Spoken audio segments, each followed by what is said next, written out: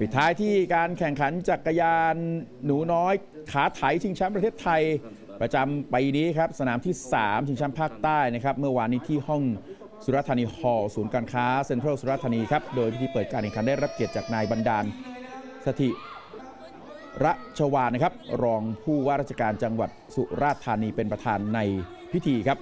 พร้อมด้วยนาวาเอก ธิตพรน้อยรักเลขาธิการสมาคมกีฬาจักรยานแห่งประเทศไทยร่วมในพิธีครับ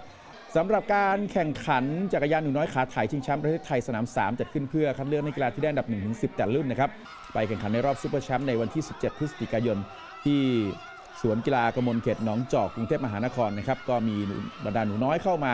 ร่วมแข่งขันกันเป็นจำนวนมากเลยครับ โดยที่เสมึกพลเอกเดชาเหมกระศรีนายกสมาคมกีฬา จักรยานแห่งประเทศไทยก็กล่าวว่าการแข่งขันจักรยานหนูน้อยขาไทยสนาม 3 ก็นับว่าประสบความสำเร็จนะครับในด้านของจำนวนผู้เข้าแข่งขัน เพราะมี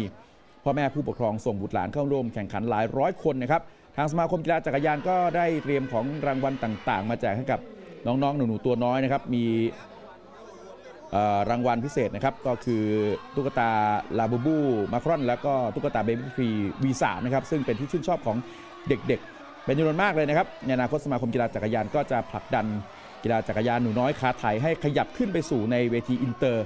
มากขึ้นนะครับ เริ่มจากชิงแชมป์อาเซียน แล้วก็ไประดับชิงแชมป์เอเชีย แล้วก็นานาชาติด้วยครับ